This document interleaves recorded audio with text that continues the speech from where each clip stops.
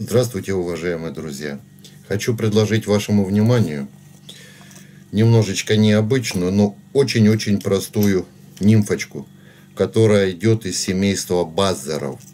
Это все нимфы, которые напоминают личиночку комара, которая у нас идет перед вылуплением.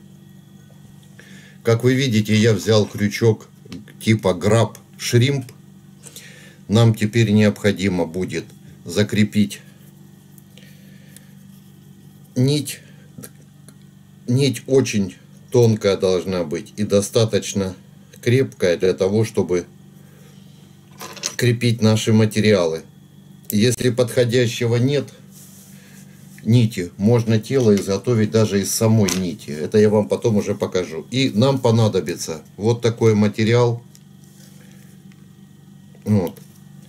Это антрон. Мы с вами возьмем сейчас, закрепим щепоточку.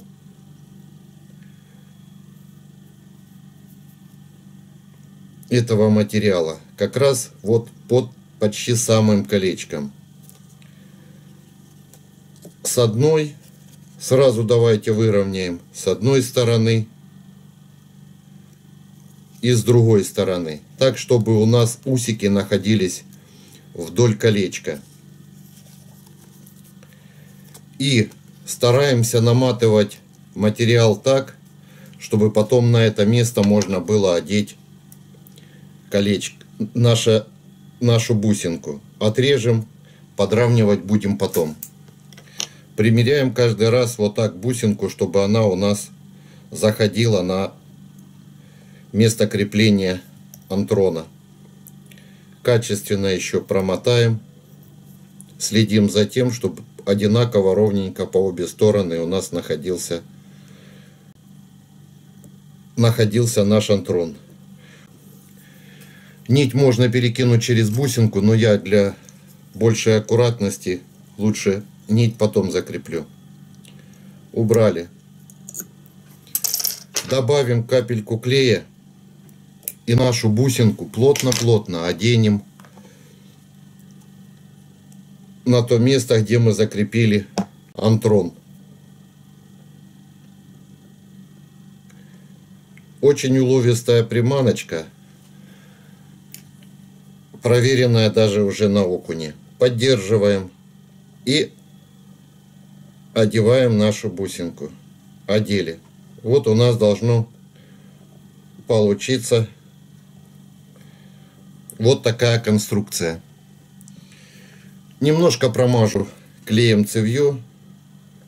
И теперь будем крепить те материалы, из которых будем изготавливать тело. Нить используем все ту же.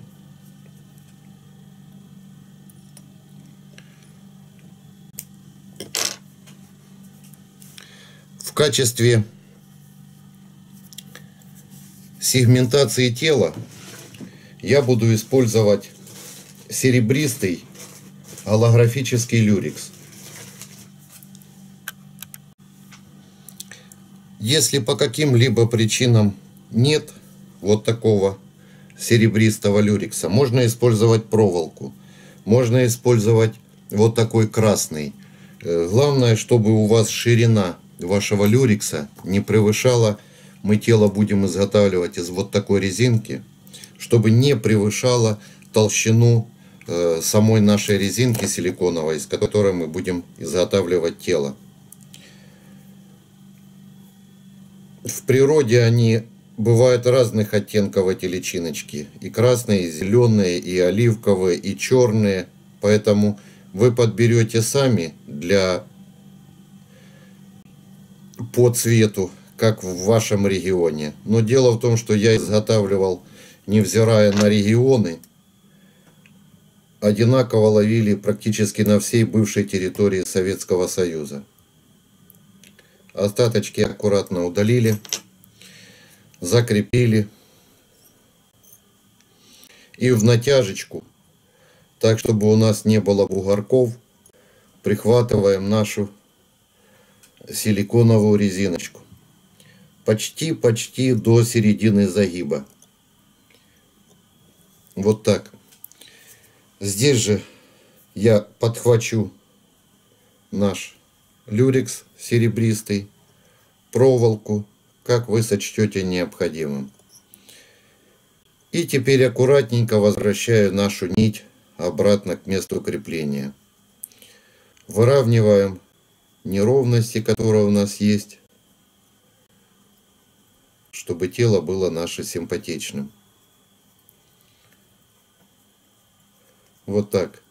Также не доходим до нашего шарика бусинки, так как здесь мы немножечко изготовим опушку. Промажем немножко клеем цевье, так как мы армировать ничем больше с вами не будем. Вот так, совсем-совсем немножечко. И теперь я поставлю так, чтобы мне было удобно для намотки. Вначале мы мотаем в натяжку, а потом у нас начинаем потихонечку отпускать наш силикончик. Если по каким-либо причинам вам будет мешать катушка, пожалуйста, можете ее убрать. И наматываем тело.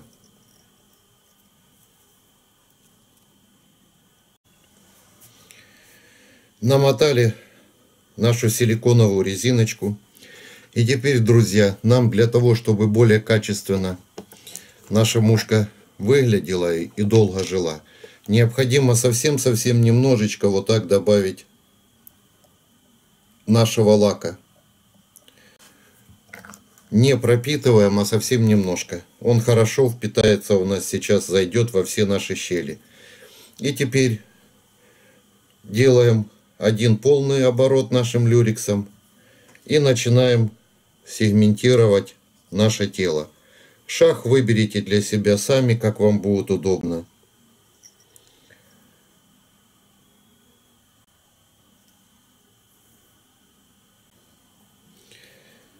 Закрепим наш люрикс.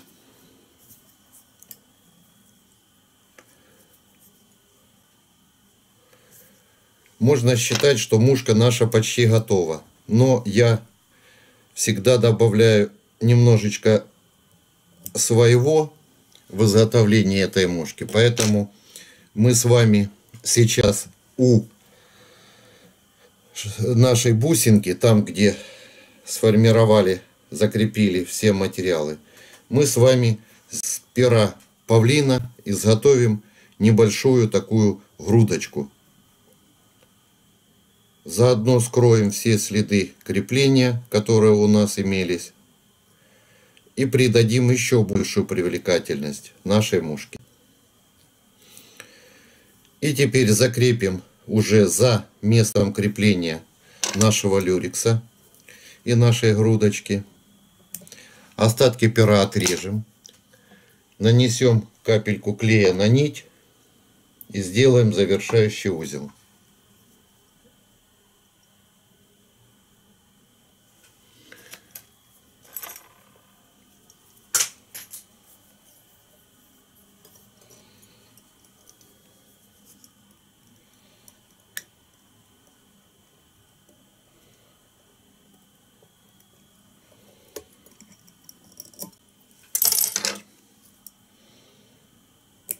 Вот так.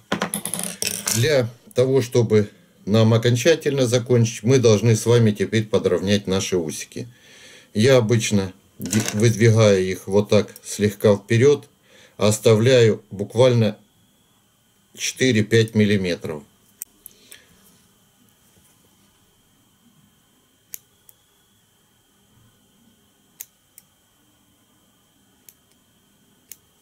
Вот так можно оставить значительно меньше. Это принципиальной роли не имеет. Вы потом в рыбалке сами убедитесь, что хоть 4 сделаете, хоть 3, хоть 5 миллиметров. Хотя в природе они несколько короче. Вот. Подровняем их еще. Удалим ненужное. Так.